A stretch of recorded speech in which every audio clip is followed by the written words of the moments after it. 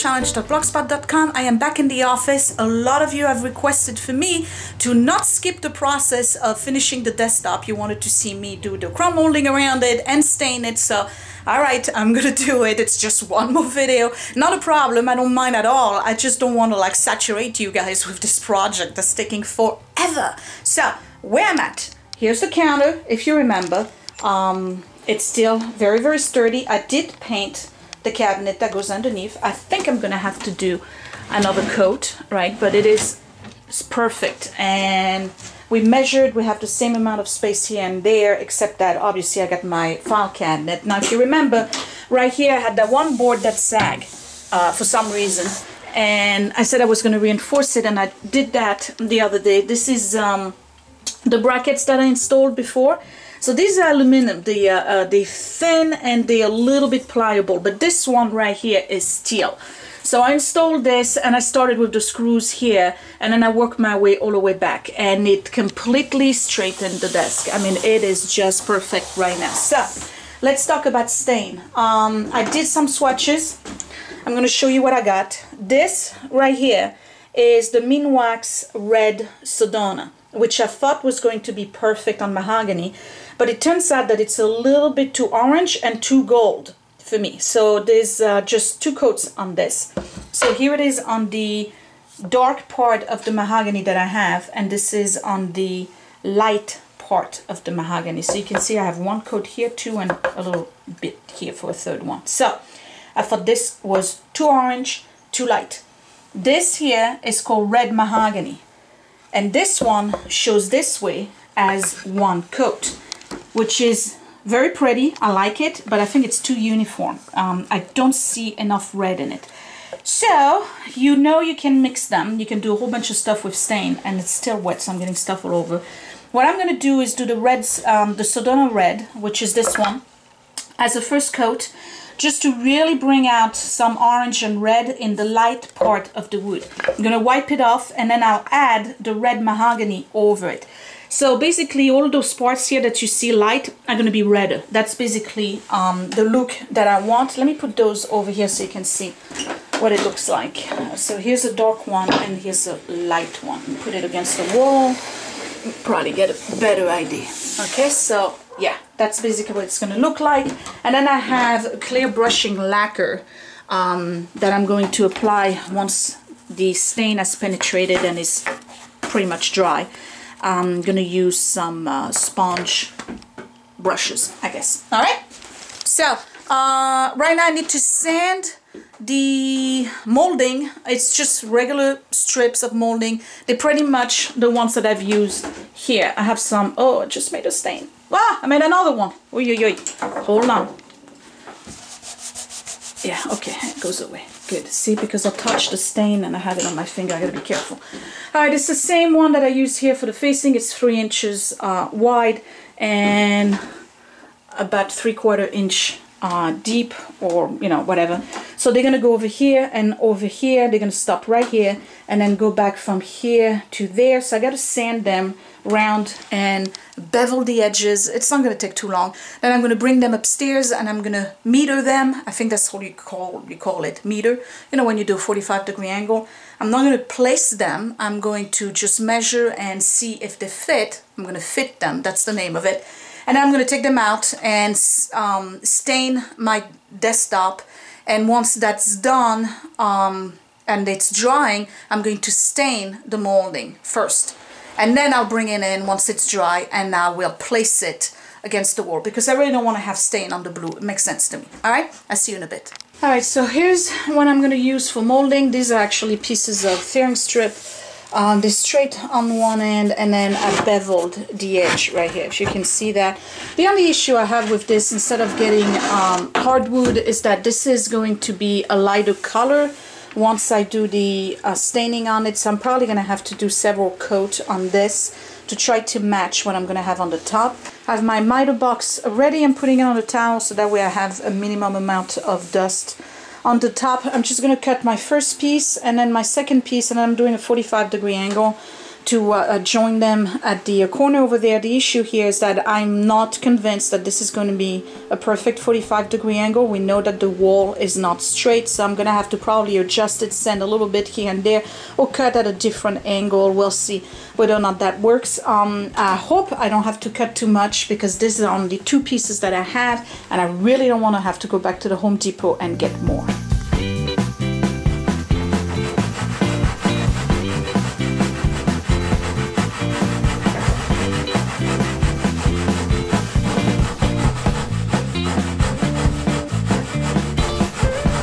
I have my first angle. I cut this, I'm supposed to get 27 and 3 quarter, but I cut it at 30. That way I have, you know, extra over here and I can cut that off. But basically when I place it against the wall, this is what it's gonna look like. And so far it looks pretty good. So I don't know, yeah, it's going all the way to the angle and the corner right here. Um, let me cut my other piece, see if they fit together. If they do, then it would be a miracle. All I have to do then is cut the part that's right here and then bevel it with my sander. Okay, so I have my second one. I just need to cut it off over there because it's too long. But I'm just checking the corners to make sure I get them right. So that looks pretty good to me. Uh, let me measure the length from here to right over there and then I'm gonna see if I can fit them against the wall and whether or not they're gonna stay with the right angle in that corner. Okay, so here's my cut right there and I'd say this is not bad for first cut. I still have to cut over there. Now this one here um, kind of like wiggles a little bit so what I'm gonna do is make sure that I'm perfectly square here and then the fitting nice. And I'm gonna put like some heavy duty nails here. And then I'm gonna clamp it over there this way to bend it down so that I can nail it this way. So that way I'm gonna bend it a little bit because here if I push it down on that side I do have it's not big but I do have a gap. So I want to make sure that everything pretty much is flush to the desk one of the reasons why you always want to leave extra on one side and on the other is because sometimes you mess up your angle and you end up having to redo it, which is the case for this one. So now I have a good angle right there, okay? So I just have to measure where I need to cut here and where I need to cut here, and then I'm gonna bevel them and I'm ready to stain. All right, that's done. Um, they've been cut precision cuts exactly where they need to be. Here's my one angle, so this is my side of the desk. And then here's the other one, that would be my husband's side of the desk. And that's pretty okay as well. So next step. Next step is basically me taking those downstairs. I'm to bevel them and I'm going to stain them. And the reason why I'm staining them first is because I don't want to stain this and then have to put those up while this here is still tacky. Get the point? So I want to put a good coat of stain on this, let them outside and get to the point where they're almost dry. Then I would fix them to the wall. Once they're on the wall, I'll do my stain here and then I'll do my second coat on everything and making sure that I'm not touching any of the blue. I'm back. It's done. I have those uh, pre-stained, right? And they placed on the wall. Um, remember I have a little nick here. I need to put some blue and then the other one is done. So that just give you an idea of what it's going to look like. Um, before I stain I forgot. I need to drill the holes for the plugs. Um, so uh, technically I wanted to have them like right in front of where we would sit because the uh, monitor is going to be right here. So most of the plugs are going to be there behind it. However I don't want to drill into this board because it's too thin right there. It's the one that I notched so I'm going to drill here. So I'm marked right here um, and I'm doing basically like an oval um, shape thing so you can put like different plugs and cables. So I have one for my side right here and then for my husband because he has several monitors I'm going to do two. I'm going to do one right here, see the oval that I marked and one over there. So I have my first hole and it's uh, not finished. I have to kind of smooth it out but I just want to show you real quick how I'm doing this because I don't have one of those big round thing that people use to uh, drill the hole for the locks on the door. I don't even know what, the, what they call it. But anyway, so I have my biggest bit right here and I marked, if you remember, where I want my oval. and I'm doing three holes one here one here one here and same thing here and then I'm taking my jigsaw right there inserting it here and I'm just going around just like that now when this is done I'll take my Dremel with the um, there's a bit I'll show it to you in a second there's a bit that's a sanding bit and I'm just gonna put it like this go all around to really really smooth things out and then hand sand the edges right here so that they kind of beveled and not um, you know you don't have like those little pieces of wood popping out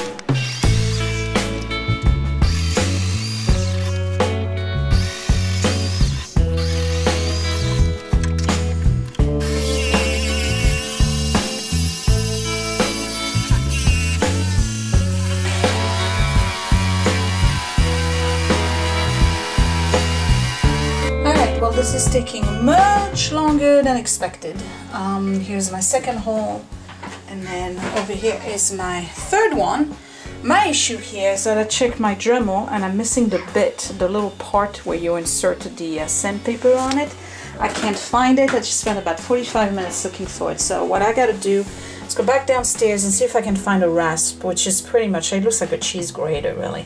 It's a hand tool and I'm just gonna have to scrape all of that extra wood here and try to make um, as smooth of a job as possible. I mean, this is not like a pressing issue, only because there's going to be computers and stuff and you really can't see it, but still, I want to do a good job. Um, and this is pretty much dry. I like the way it looks so far. Um, yeah, I can't wait to just go ahead and do my first coat, and that's going to be the Sedona Red, which I brought back it's this one right here. So the first coat is going to be Sedona red and then but really quick and then I'm going to wipe it right away. And the second coat is the red mahogany which turns out to be still all over my fingers which turns out to be a little bit darker. See that's the red mahogany on its own right there. So um, yeah what I'll do is that I'll just do a quick coat of the red wipe it off.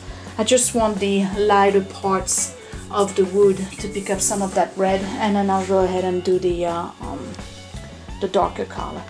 Alright, so I found this. This is a rasp bit. It's pretty, pretty pricky. You see that? Seriously hard stuff. Let me show you. So this is a uh, um, one that I haven't done. Is another one I haven't done. And then when you lightly use the rasp, this is what it looks like. So you pretty much smooth it all then I gotta go with the sandpaper and kind of bevel these, but I just want to show you what I'm doing here if I can figure out a way to put the camera in a way where you can see it.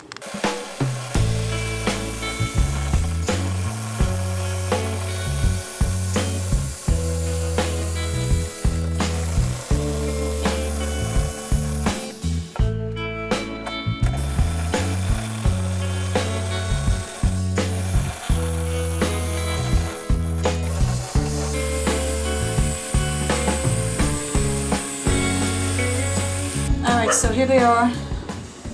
Much better looking. Now once you've done everything with the rasp you use this.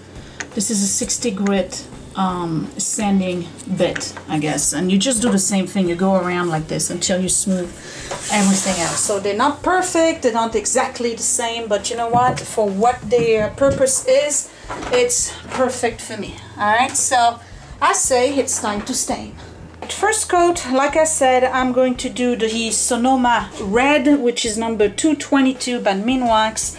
I'm just putting it on a rag, um, light coating, but what I want to do is start with the inside right here because these are hard to get. So I just want to show you that part. And it doesn't matter to me if it drips on the floor because the floor is going to be done last. You remember? That was the reason why. I wanted to remove the carpeting first and do the floor last. Because I knew I was going to have drips and marks and things and the floor needs to be um, you know cleaned out from all of the paint drips that I have from previous owners as well as my own. Okay so that is done. Let me go on the other side and do the other one. And then I have to also lightly sand it before I can uh, put some tint on it as well and again, this one is redder. It's a little bit more orange. I just want to do a light coat. I'm gonna go lightly right here on the top. Being careful not to touch the wall. I'm hoping you can see the red coming through.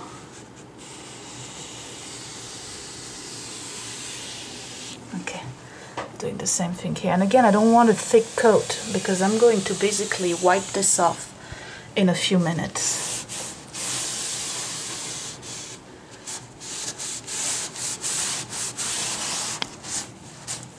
Uh, let me do the one in the back.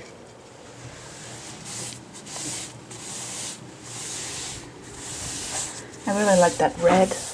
Unfortunately, by itself, I think it's just um, too orange. Alright, I'm gonna make sure I got it all the way in here.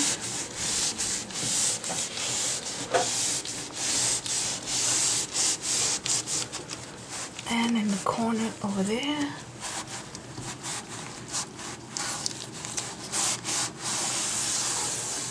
Alright, now I'm ready to stain larger surfaces. So you just apply your stain in the direction of the wood.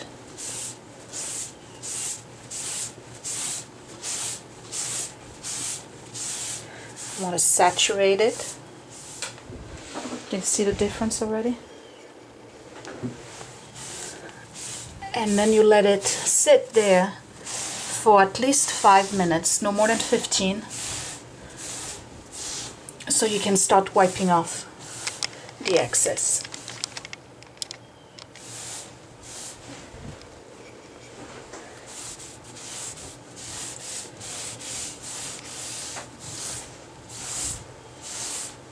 Alright, let me do the whole counter and then I'll show you what it looks like with just the first coat.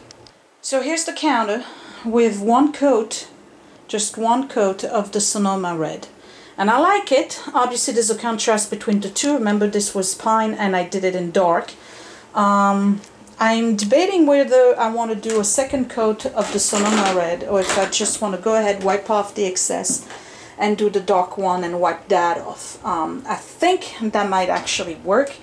It's not that I don't like the color, I think it's beautiful, but it's a little bit too reddish and I'm concerned that it's really going to contrast with the floor once I'm doing it because that's going to be in Gunstock, which is more of a uh, orange oaky color. So, hmm, waiting five minutes to wipe off the excess, I got to make a decision.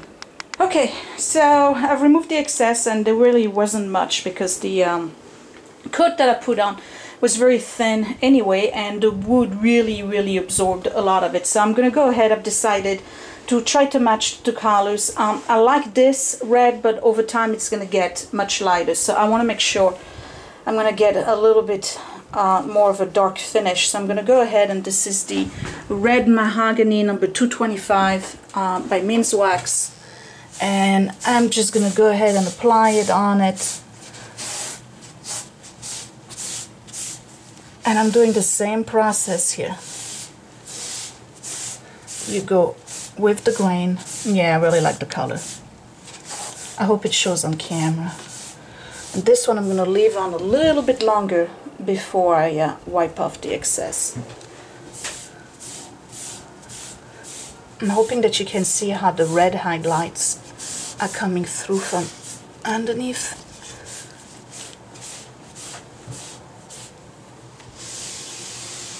This part here. And once this is um, once I have the clear lacquer on it it's gonna look absolutely stunning to be honest because what's gonna happen is that all of those little light areas that look a little bit gold are just gonna pop. It's almost gonna give it like a, a 3D effect but I'm not gonna do that today because this has to dry for at least eight hours. So I'll do the clear polish tomorrow. Alright let me finish this coat and then I'll show you the counter one more time. It's done. All I have to do now is wait, pretty much, wait for it to dry. Um, I'm loving it. it looks like some seriously, seriously expensive wood, which it is. Well, it's not super expensive. It's mahogany, but at least it looks like I have mahogany, not just pine that's been disguised to look like mahogany. So as it dries, it's going to get a little bit lighter. And as I put the uh, lacquer on it, there's going to be, you're going to see more of the contrast between the light areas and the dark areas. That's pretty much what's going to happen. So tomorrow morning when I come in and it's dried and I feel that it's a little bit too light, what I may do is mix some of the Sonoma Red with this uh, red mahogany and just put a, another coat on it but I don't think I'm gonna need it. Um, I'm really really liking the way it looks. It's absolutely stunning. I did a pretty good job. I'm happy with that. Now I need to get a q-tip and do the areas right here the little corners there um, because that's um, something that I cannot do with the rag and then I gotta go over the uh, nails the uh, what you call them the finishing nail just with a q-tip kind of like tint them a little bit. They're not going to take in the color or anything but that's what it looks like all right? Um anyway so I hope you liked it. Um, I know, like I said, a lot of you have asked for me to show this process. You wanted to see me stain it, so you have.